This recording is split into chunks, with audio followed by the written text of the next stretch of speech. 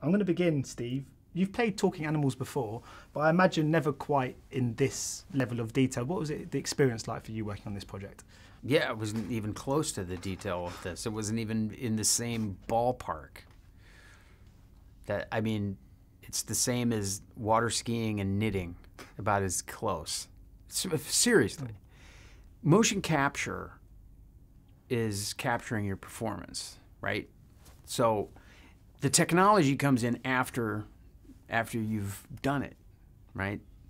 Um, I, I just the whole idea of like you're you're the voice of something is just insane after six months of being in pain, like taking Epsom salt baths and like you know studying chimps. But um, I mean, did you did you do a lot of research into the, just the, the way they move and the just the whole posture and? Oh my God, yeah. It, it, it, it's so involved that it's, it's not even like going to, to, to, to, like a class and like, this is, you know, the minute, if, if we, if we sat and imitated these guys, it would be stupid. You know, it wouldn't work. You actually have to get to the point of where you feel like you, have embodied one. It's become second nature and you're just playing a character. That's the difficult thing. I mean, the first day I sat with with with uh, uh, Terry Notary in his trailer, and he was working on the movie, and I, I came in late, and I had like two and a half weeks to learn this stuff. I got scared, shitless, man, because I went into his trailer, and he sat down, and we went. He, I thought we were going to start just doing physical stuff. He's like, "All right, let's breathe," like that, and I started doing this stuff. An hour into it, I got freaked out because I thought this is a lot more involved than I thought I was gonna it was gonna be. There's a difference between the way that we sit posturing and an ape sits. There's a difference between the way that uh, we look around and the way that an an ape looks around, right? And to get to that point of where what, what is it that drives this thing is is hours and hours and hours of work, you know what I mean? To get to the point where you can just forget about it and do it. And that's the brilliance of, of Andy Serkis. That's the brilliance of people that are great in these parts because they they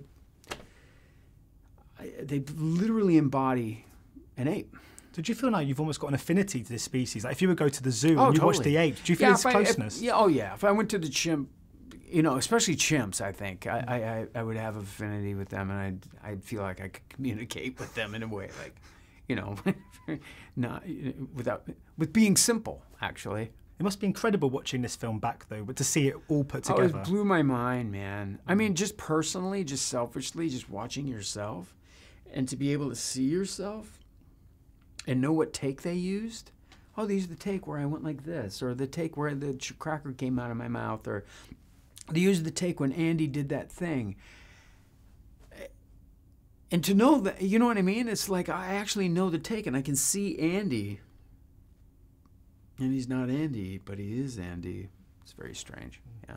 And I mean, Bad Ape is such a great addition, but he's a distinctly, distinctly quite sad character, isn't he? There's something yeah, quite no, tragic about him.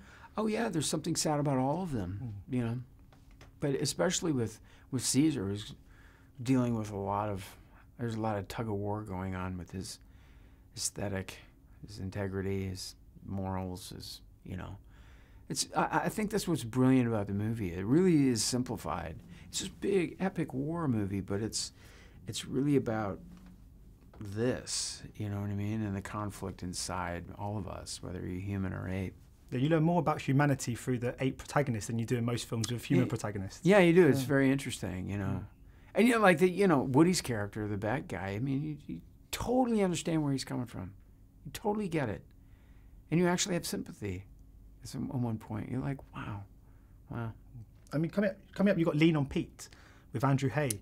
Hey. Oh yeah, yeah. yeah. I mean, because I mean, he's he Weekend and uh, and 45 Years are two exquisite pieces of cinema. I was wondering how you fit into into his next project. Um, I, I just read this script that was just it's just brilliant script, and uh, I play a a homeless guy that that um, is kind of on this kid's journey and um, alcoholic homeless guy. And uh, I did, I took a year off and I did this movie like in the middle of that year off, like four days in Portland. And in a small movie that's like a month on like Planet of the Apes, you know what I mean?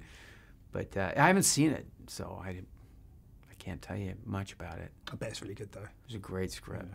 Yeah. Thanks so much for your time today. Much yeah, appreciated. Yeah, Cheers. no worries. Ladies and gentlemen, you're watching Hey You Guys! Hey, you guys, huh? Hey, you guys. Is yeah. that from the Goonies? It is indeed, yes. Nice. Hey!